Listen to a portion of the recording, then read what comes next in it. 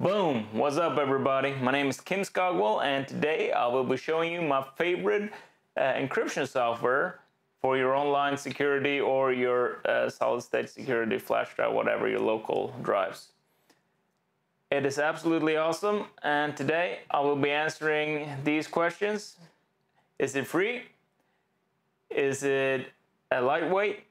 What kind of encryption it has? Is there any backdoors?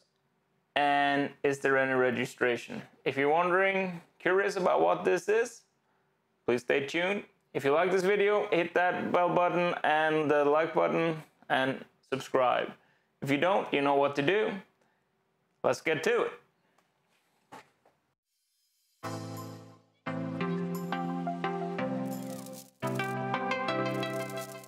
Okay, so here we are back inside of the computer we're going to open up Google Chrome. We're going to type in cryptomator.org.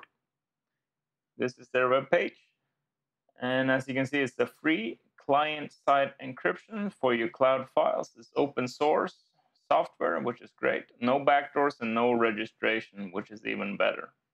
Open source does mean that anybody can go in and have a look at the code uh, if they want to, and it makes it a whole lot easier for people who know what they're doing to check and see that there actually are no backdoors, there are no uh, no uh, nasty stuff, no no stuff you don't want in there, since this is supposed to be a security encryption software. I recommend if you like this app to uh, give them a little donation. And if you scroll down, you can see how does Cryptomator pro protect your cloud files gives you a short description. You can see some more. Gives you a quick overview over how it works. It's really easy. It's super, um, it's super fast. I love this stuff, and you can see it's been in a lot of the tech uh, magazines. So we have the downloads page where you will go and download it. Hit download. Once it's downloaded, make sure you check the file integrity if you don't know how to do it, you can check this video, which is going to come up here on the screen, or check the link in the description to figure out how to do it. Or you can get the PGP signature here and download it. And that just makes sure that no one has been tampered with this uh, file other than the people who made it.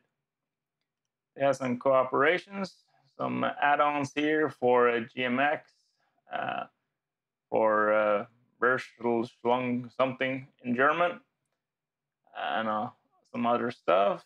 We got the support page. This will give you all the information you need. This is the forum. It's a great resource. Enterprise. It's not going to be free, I believe. And then some other documentations here.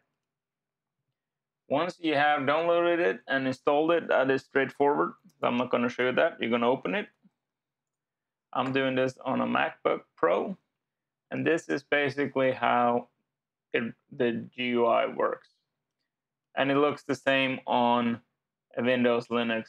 Um, the Android app is awesome. I think that costs about $6. The iOS app, haven't tried it yet, but that is about $9.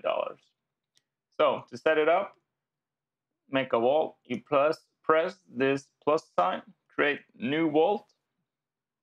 Gonna get up a Finder window. I'm gonna make a test in my Google uh, Drive you make want to make a new folder name that folder something inconspicuous. So i'm just but for this reason i'm just going to call it test. And click create. Now you want to name what's ever going to be the vault inside there. So i'm just going to name this test one. And hit save now we need to set the password or passphrase. I highly recommend you use the passphrase. But since this is a test for me, I'm not going to be using this. I'll just make a couple of uh, numbers there. You hit create. So to open it, you press your enter your passphrase. And this is how it now looks. We're gonna put in a couple of folders in here. So you either right click and press new folder. And this is test one or test two, we can call it. And then the other way you can do it is press up here on the gear icon, new folder, uh, and test three. But it ended up, so I'm just gonna drag and drop it into the root folder here, which is perfect. So now if we open up uh, another Finder window, we can already now go to the Google Driver, go to the test, which is this one. You can see that it has a backup master key. Highly, highly recommend you take a copy of this and put it somewhere safe. I would take a copy of this one too, just in case. And you can see everything is encrypted in here is single file encryption. And we haven't added anything yet, so but let's go back here. So this is our test one. So that's our test one. So if we add some stuff, let's put in here on test two. I'm gonna just copy this image here and paste. And then we can go to test three. We're gonna copy this one and paste it in. So you can see your workflow isn't being disrupted by having to learn anything new. It's just do whatever you did before after you open it. So put it up here. You can see here that we still can't see anything. There's everything is just encrypted. While we over here in our vault folder, we can still see it over there. So what we're going to do now, just to make sure that we can't really see it, so I'm going to close this one. And we want to lock this vault to make sure it's marked lock vault. Okay, there's nothing more there. We can open our Finder again, go to Drive here, make sure once more everything's encrypted. This is what single file encryption does. It just makes it impossible for you to, or a hacker to find it pretty much. And it's got scrypt as well for the password, which makes brute force attacks pretty much useless, which is awesome because that eats up all the the memories. You need a incredible computer to be able to use a brute force attack. So again, to get back in here, once you have it, you're gonna open up the program choose your vault. Remember, you need to remember your password because there is no backup. Type it in as enter, and now you're back in here and you can see your uh, your stuff. So that's pretty cool, right? Now we're going to take a look inside of the Android app because now we can actually access these encrypted files from our Android app, and we would be able to access them from uh, an iOS app as well. I'll see you on the phone in just a few seconds. Okay, so we downloaded the Cryptomator app. We open it up and you're gonna see a blank page. You press this plus sign, you add existing wall, you choose which drive you put it on, test one, which is what we get, and it says select the master key file. You press it, and there we are. So now you can test one here, which is the vault name. Press in your code or passphrase.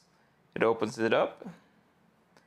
And there you can see we have the pictures. Go one back and then the other one. That is pretty cool.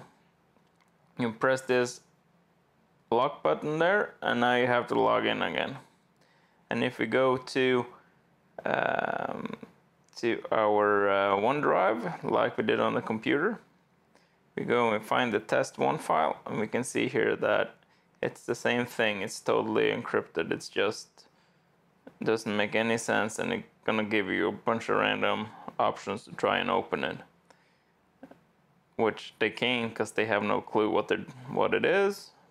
It's single file encryption this app is just fantastic because now you can access securely your encrypted files. I highly, highly recommend uh, getting Cryptomator. It is one of my favorites. It's right up there with VeraCrypt, which is a super app. It's just a little bit heavier to run, but you got more encryption formats and um, settings. This is by far the best one because you can have it on your phone, your computer, and you can have securely encrypted files and access them on either one.